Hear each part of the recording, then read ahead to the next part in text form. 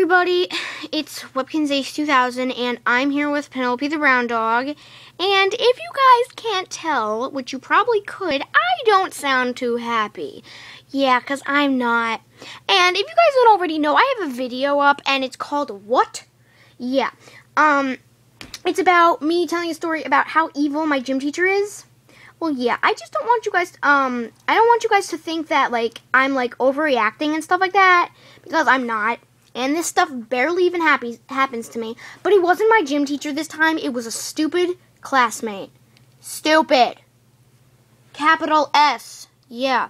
I hate him. He's been in um my class pretty much not all of them just pretty much ever since kindergarten and then we went to the same school together again and i'm like ripping my hair out because i hate the kid um, and I'm going to tell you guys a story, sort of, kind of, like, whatever, okay, about my school day and stuff, but I'm going to be using Penelope's name, and no, that's not my name, so yeah, and if you're wondering, this is just like a paper cut, okay, yeah, um, so I was in school today, and we were switching from social studies to writing class, and stuff like that, and in the hallway, this kid that I told you that I hate, he walks by this teacher, and, um, actually not a teacher, sorry, um, my my vice principal because he's like the one who does all like the uh, like the like if the kids are bad he like punishes them and stuff like that. Not the real principal he does all the work and stuff like that.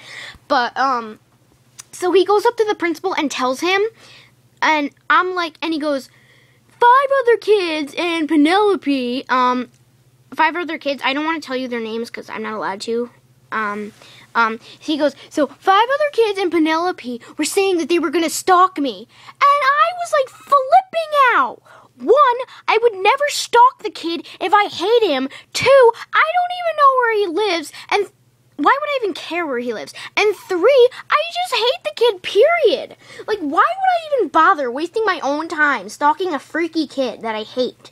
So no, I would never stalk anybody. So I was like flipping out. And the principal goes, Is this true? I go, Absolutely not. He goes, I go, if you don't believe me, I said, you can ask the five other kids. I said, I did not say anything about that because that stupid kid sits at my lunch table and he probably heard me say stalk because I did, but I didn't say anything about his name in it. So this is what happened. At lunch a couple weeks ago, I was sitting there with my two friends and he sits at my lunch table. So I was telling my two friends there was like this freaky pigeon on top of like this car and then the squirrel was on the bottom.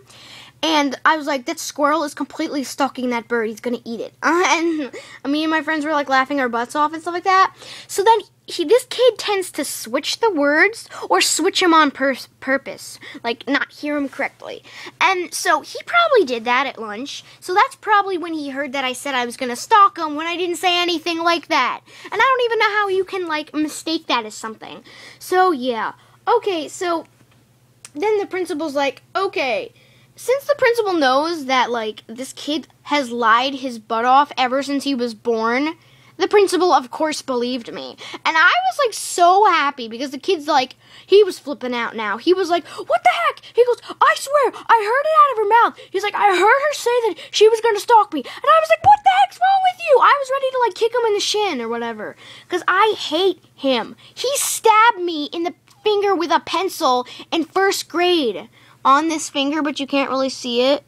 It's like there's like a bump right here, but it's covered up with a band-aid because that was from like a long time ago, and it's kind of by my fingernail. But I was like flipping out, and I don't know about you guys, but if you were in that situation and you knew something was wrong, but the other kid said he was right, and I mean I knew the principal like knew what I was talking about. I don't know, but if he didn't, if he believed the other kid, I would have like screamed my head off because I hate that kid. And he gets away with everything because he's an only child and his parents love him to death. And even if he does get in trouble, like um, in second grade, he punched this girl in, in the face. He's a boy and he punched a girl in the face and gave her a black eye. Yeah. Yeah, and it was after school. So because she was like running away from him because she was like freaking out because he was like so mad at her or whatever because she he wanted to date her or whatever and she said no. And he was like flipping out so she was like screaming and running away but she was like pretending because she was with her friends and he came out of nowhere and punched her in the face. And I was like flipping out because I was there when I saw because she's like my best friend and I felt so bad for her because the kid's like extremely ugly. I don't know about you but yeah he's ugly.